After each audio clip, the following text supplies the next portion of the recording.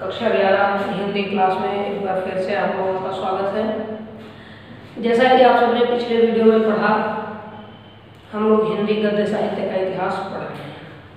इसमें विभिन्न लेखकों पूर्व काल की भाषाओं, फिर खड़ी बोली भाषा के विकास तक का अध्ययन हम लोगों ने कर लिया है। इसके बाद हम लोग कल ये पढ़ा अब आगे हमको हिंदी साहित्य का विभाजन करना है। देखिए, साहित्य का जो काल है, जैसे तेरहवीं सदी से हिंदी का आरंभ हुआ, फिर उन्नीसवीं सदी से आधुनिक युग का आरंभ हुआ। तो इतने लंबे कालखंड को एक साथ पढ़ लेना कठिन होता है। इसलिए विद्वानों ने हिंदी साहित्य के इतिहास को विभिन्न कालों में, विभिन्न घटनाक्रमों या लेखकों के योगदान के आधार पर अलग अलग विभाजन कर दिया है। तो आप लोग पहले हेडिंग डाल देंगे हिंदी गद्य साहित्य के इतिहास का काल विभाजन। काल विभाजन में सबसे पहले हम लोग लिखेंगे पूर्व भारतीय युग पहला है आपका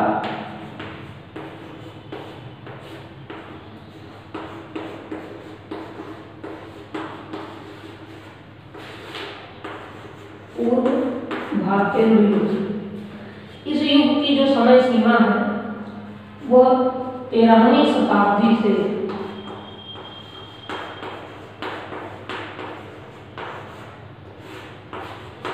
तेरहवीं शताब्दी से अठारह सौ अड़सठ ईस्वी तक है। इसमें पूर्व काल में जब राजस्थानी भाषा, ब्रज भाषा और मैथिली भाषा का गद्य प्रचलित था, उस काल से लेकर के और भारतीय पहले तक। जितने भी लेखक, जितनी भी रचनाएँ हुई हैं, उन सबको रखा गया है। फिर 19वीं शताब्दी के पूर्वार्ध में, जब सन 1800 के बाद नव जागरण का युग आया या कह सकते हैं उन्नीसवीं सदी के पूर्वार्ध के बाद उत्तरार्ध में 1850 के बाद में जो नव जागरण का काल था,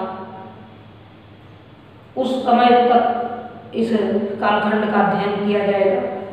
इसके बाद पूर्व भारतीय का मतलब है भारतीय से पहले। भारतीय के बाद फिर पहले का तो ये हो गया पूर्व भारतीय तो इसके बाद अठारह सौ अड़सठ में भारतीय जी के साहित्य बड़े प्रचुर मात्रा में सामने आए। अभूतपूर्व रूप से उन्होंने हिंदी साहित्य की सेवा की। जिसको ध्यान में रखते हुए अठारह सौ अड़सठ से 1900 ईस्वी तक के समय को भारतीय युग के नाम से जाना जाता है। तो आप लोग लिख लीजिए, दूसरा आपका जो है, ये होगा भारतीय युग।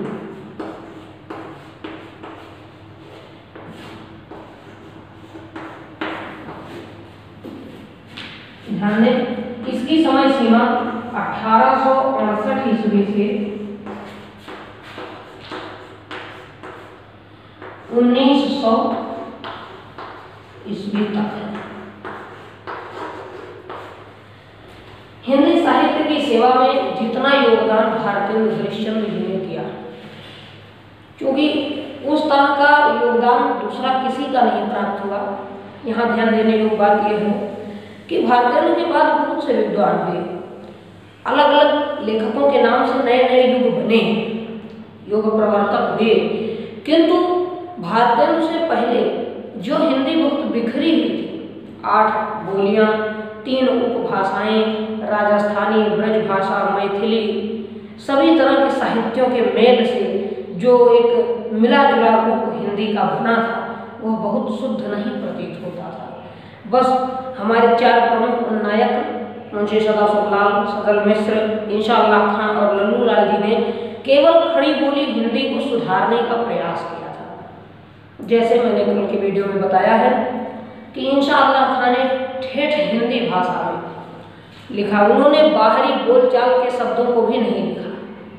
जो हम लोग दैनिक प्रयोग में लाते हैं, कोई भी शब्द किसी भी भाषा का, चाहे अंग्रेज़ी का हो, चाहे उर्दू, फारसी को हम बिल्कुल नहीं लिख करके उन्होंने शुद्ध हिंदी को लिखा खड़ी बोली में, जिसके कारण उनकी शैली में थोड़ी सी पद्यात्मकता आती पद्य शैली की प्रधानता कारण ही रामचंद्र शुक्ल ने इंशाअल्लाह खां की भाषा को चुटकुली भाषा कहा था। भारतेंद्र जी ने उन सारी भाषाओं का समन्वय किया। भाषा को एक नया रूप दिया। आमतौर पर बोलचाल में प्रयोग की जाने वाली भाषाएँ, कहावतें, मुहावरे लोकोक्तियाँ जो हैं, दूसरी भाषाओं के जो शब्द, संस्कृत के शुद्ध तत्सम शब्द अवधि और ब्रज भाषा के छोटे छोटे देहाती शब्द सबको मिला करके भाषा को उन्होंने पूरी तरह व्यवहारिक बना दिया। आज जो गद्य या जो खड़ी बोली हम बोलते या पढ़ते हैं यह भारतेंद्र जी की देव है। इसीलिए भारतेंद्र हरिश्चंद्र जी को ही आधुनिक हिंदी का जनक कहा जाता है। तो इसको नोट करेंगे, हिंदी खड़ी बोली गद्य के जनक या आधुनिक हिंदी के जनक भारतेंद्र हरिश्चंद्र। भारतेंद्र जी के बाद सन 1900 के आसपास में आचार्य महावीर प्रसाद द्विवेदी हुए। भारतेंद्र जी ने जो भाषा व्यवहारिक रखी थी, कई भाषाओं से छांट कर, द्विवेदी जी ने इसको और भी निखारने का प्रयास किया। शुद्धतम रूप देना शुरू किया। उन्हीं छोटे छोटे देहाती शब्दों को भी और ज़्यादा शुद्ध कर दिया। तत्सम में प्रयोग किया। तत्सम शैली प्रधान संस्कृत निष्ठ हिंदी भाषा खड़ी बोली का विकास महावीर प्रसाद द्विवेदी जी ने किया। उसी काल में बनारस में हिंदी नागरिक प्रचार सभा की स्थापना होगी। सरस्वती नाम की पत्रिका, जो द्विवेदी युग क्या हिंदी साहित्य की सबसे महत्वपूर्ण पत्रिका रही, उसका संपादन किया महावीर प्रसाद जी ने। तो हिंदी के साहित्य में उनके भी परम योगदान को देखते हुए हिंदी साहित्य का जो तीसरा युग था वो द्विवेदी युग के नाम से जाना गया। इसको भी लिख लेंगे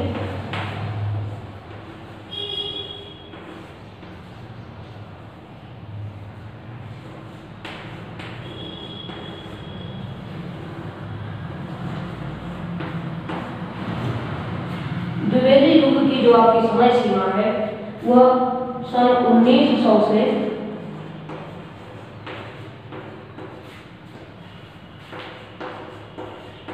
उन्नीस सौ बाईस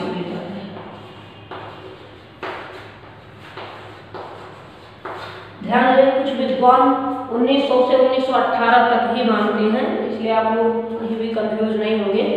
दोनों को सही रखा जा सकता है। फ़िलहाल इसकी वास्तविक जो समय सीमा है वो बाईस वर्ष की 1900 से 1922 तक। ये महावीर प्रसाद द्विवेदी जी का कालखंड रहा। इस काल में कई प्रसिद्ध साहित्यकार हुए जिनके बारे में हम लोग आगे पढ़ेंगे। फिर महावीर प्रसाद द्विवेदी के साहित्य का युग जैसे जैसे बीतता गया, इसी बीच में अपने बस्ती की भूमि से पंडित रामचंद्र शुक्ल का उदय हुआ। जिन्होंने निबंध और आलोचना के क्षेत्र में नए कीर्तिमान स्थापित किए। तो रामचंद्र शुक्ल जी की शैली, इनके निबंध, आलोचना और साहित्य के इतिहास में इनका जितना योगदान था, वैसा इनके पहले किसी ने नहीं दिया था। सब अपने आप में अभूतपूर्व रहे।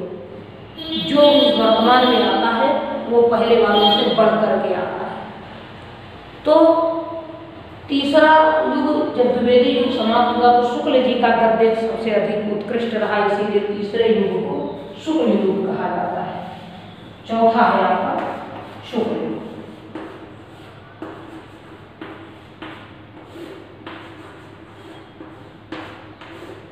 शुक्ल युग की समय सीमा जो है, वो 1922 ईस्वी से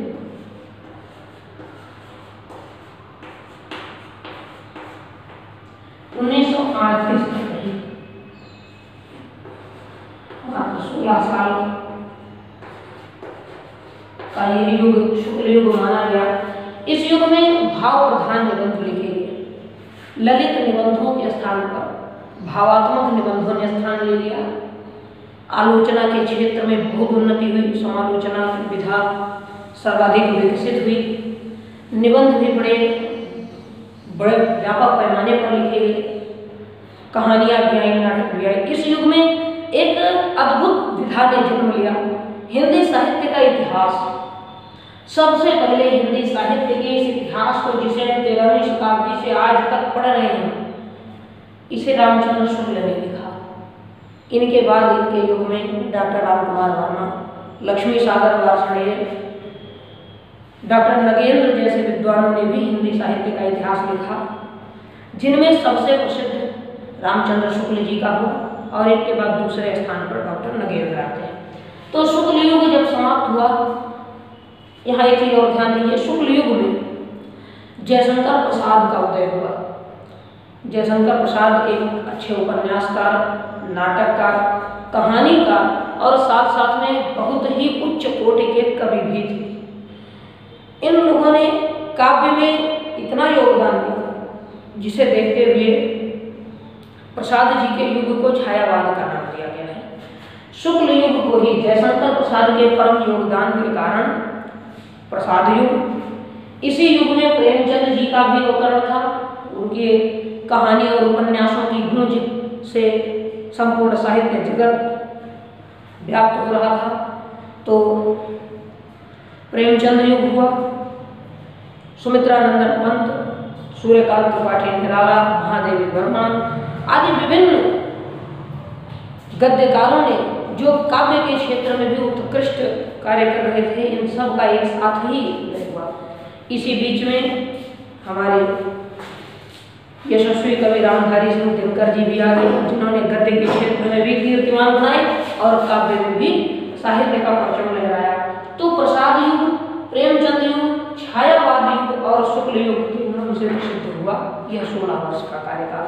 शुक्ल जी के बाद बहुत से विद्वान हुए अनगिनत साहित्य रचनाएँ हुई नई नई विधाओं का जन्म हुआ, लेकिन कोई भी ऐसा साहित्यकार अभी तक नहीं प्राप्त हो पाया जिसके नाम से इस आधुनिक काल को कोई नाम दिया जा सके। इसलिए इस युग को शुक्ल जी के नाम से ही जोड़ करके जो अंतिम युग था साहित्य के इतिहास का, जो अंतिम भाग है, उसको शुक्लोत्तर युग कहा गया। शुक्लोत्तर का मतलब शुक्ल के बाद। इसी तरह प्रसाद के बाद था इसलिए प्रसादोत्तर, छायावाद के बाद था तो छायावाद उत्तर और प्रेमचंद जी के बाद का है तो प्रेमचंद उत्तर यानी जो चारों नाम शुक्ल युग के हैं, उन चारों में उत्तर जोड़ दिया गया और नया युग बना होगा शुक्लोत्तर युग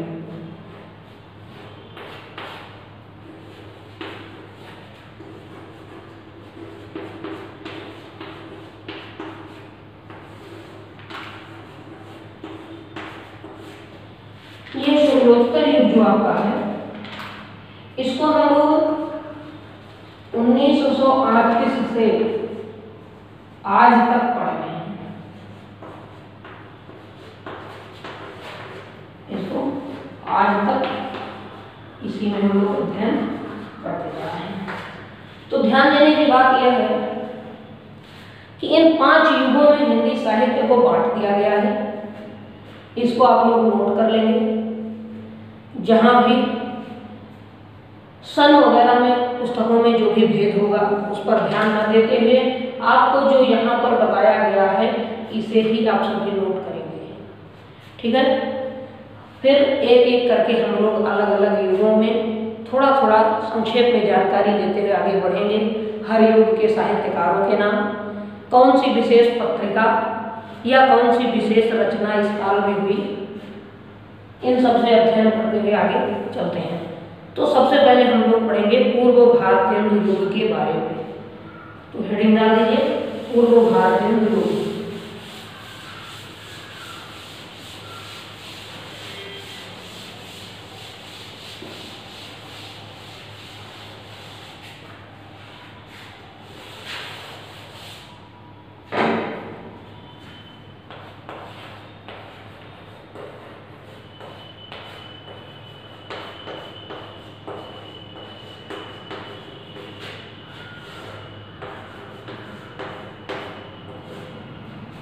इस युग को जागरण काल भी नव जागरण काल भी कहा जाता है।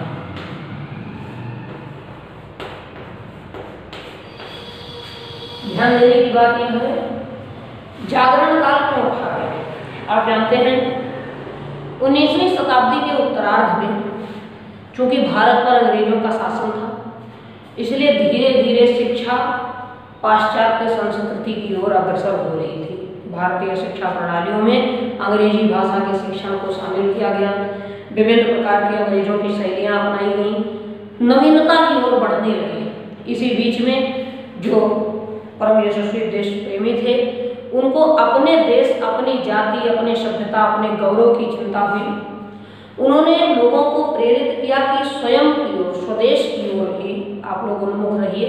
आप लोग किसी अन्य की सभ्यता को अपनाते हुए अपनी सभ्यता को ना भूल। जाए तो जो एक नई चेतना का संचार किया गया भारतीय जनमानस में, लोगों के मन में एक नई अभिलाषा, नई उत्कंठा जागृत हुई। उसी काल को नव जागरण काल अथवा जागरण काल के नाम से जाना जाता है। इस काल के मध्य भारतीय संस्कृति में सामाजिक और सांस्कृतिक रूप से बड़े व्यापक पैमाने पर परिवर्तन हुए थे। इसी काल में खड़ी बोली गद्य के विकास पर सबसे पहले तो कुछ जो आपके हमने बताया, चार नायकों ने प्रयास किया था, वो था ही।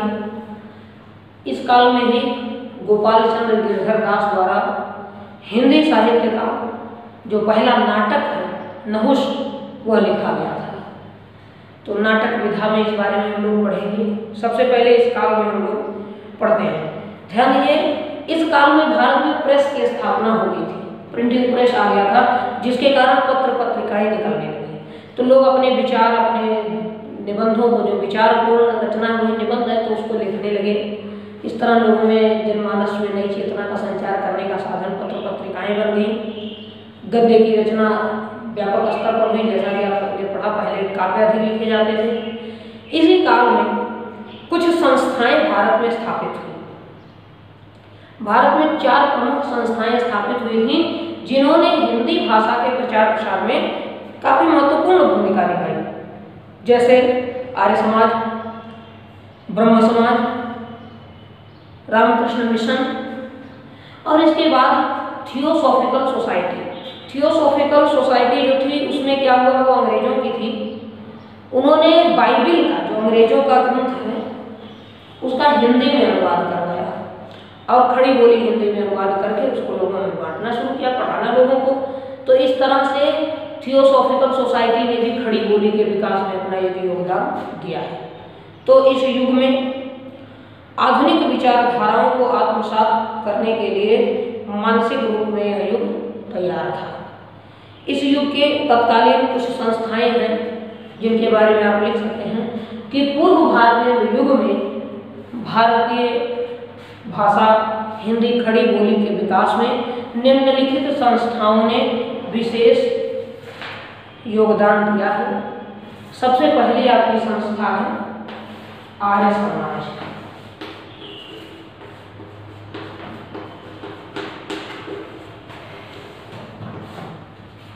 दूसरी है ब्रह्म समाज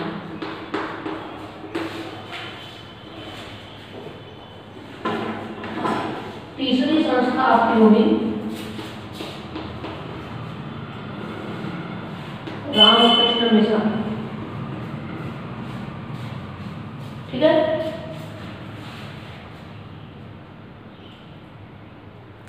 चौथी है प्रार्थना समाज।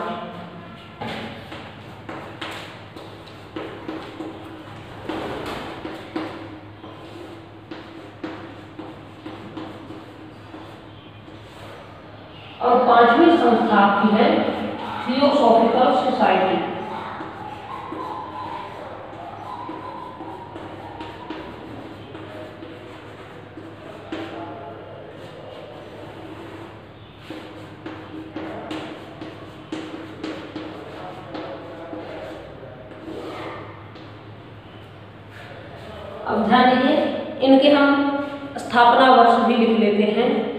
पहले आर्य समाज की स्थापना हुई अठारह सौ सड़सठ ईस्वी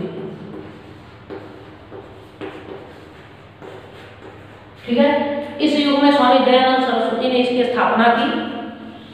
और सबसे पहले स्वामी दयानंद सरस्वती ने अपनी पुस्तक सत्यार्थ प्रकाश उसमें आप लिख लेंगे, स्वामी दयानंद सरस्वती की जो पुस्तक थी, सत्यार्थ प्रकाश।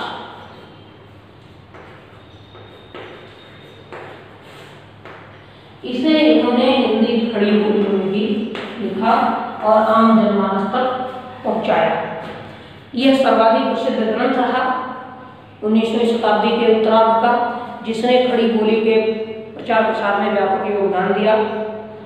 इसके बाद ब्रह्म समाज की स्थापना हुई थी अठारह सौ अट्ठाईस ईस्वी में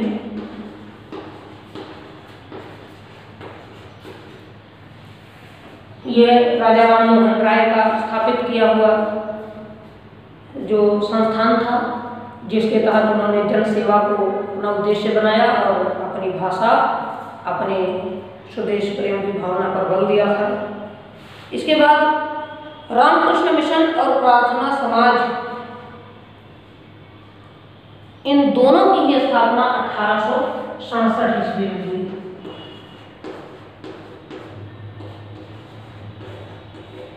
रामकृष्ण मिशन की स्थापना करके स्वामी विवेकानंद ने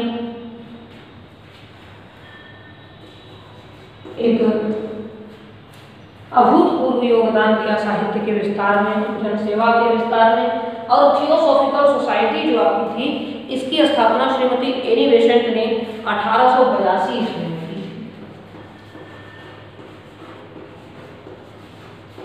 तो ये इस काल के प्रमुख संस्थान है जहाँ से हिंदी भाषा का प्रचार प्रसार व्यापक स्तर पर किया गया। इसके अतिरिक्त एक और चीज़ विशेष है इस युग की दो राजा हुए भारत में छोटी छोटी रियासतों से जिनका संबंध था, रियासतों के मालिक थे वो राजा थे। उन दोनों ने हिंदी खड़ी बोली गद्य का बहुत अधिक विस्तार किया। उनके नाम हम लिख लेते हैं, आपसे पूछा जा सकता है कि हिंदी साहित्य में दो ऐसे कौन से राजा हुए हैं जिन्होंने हिंदी साहित्य का विस्तार किया।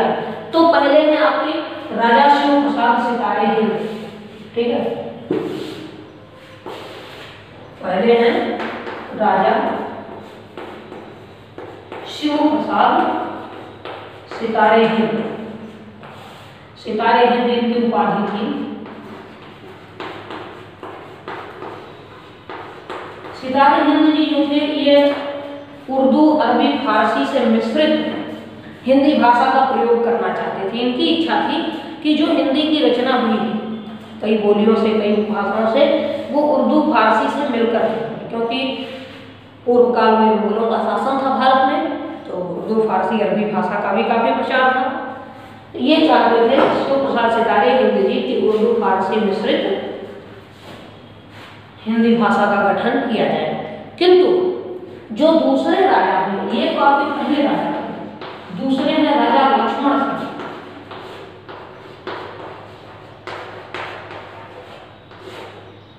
राजा लक्ष्मण सिंह जी थे ये शुद्ध, संस्कृत निष्ठ हिंदी भाषा का प्रयोग करना चाहते थे इन्होंने शुद्ध संस्कृत से युक्त तत्सम शैली प्रधान हिंदी भाषा का गठन किया था। इन लोगों ने हिंदी साहित्य के क्षेत्र में विशेष योगदान दिए हैं। इनके अतिरिक्त कुछ अन्य विद्वानों के नाम भी हम लोग देख लेते हैं। इन सबके योगदान के अतिरिक्त हिंदी भाषा में जितने लेखकों ने, जिन साहित्यकारों ने ये सारे कार्य किए, उन्होंने इतिहास भूगोल, विज्ञान, धर्म, पुराण, उपन्यास, दर्शन इत्यादि से संबंधित विषयों में प्रचुर मात्रा में साहित्य लिखे। बहुत अधिक साहित्य का सृजन किया गया। तरह तरह की शैलियाँ, विधाओं में ललित निबंध ही प्रमुख था। लिखे गए थे। इसी काल में भारतीय नरेश जी के पिता गोपाल चंद गिरधर दास जी ने नहुष नाम का पहला नाटक लिखा था। इसके बाद आए भारतीय हरिश्चंद्र। जिनका जन्म 1850 में हुआ था, लेकिन उनके लेखन की गति, उनकी सारी रचनाएँ उन्होंने अठारह में अधिक प्रकाश में है, अठारह सौ साठ के उपरांत इसलिए इसके बाद हम लोग भारतीय नवयुग पर चर्चा करेंगे, जो कि कल होगा। आज केवल पूर्व भारतीय नवयुग तक ही चर्चा हुई है। आप लोग इसको लिख लेंगे। जहाँ भी कोई समस्या होगी, पूछ सकते हैं। वीडियो को आप लोग लगातार देखते रहिए। धन्यवाद।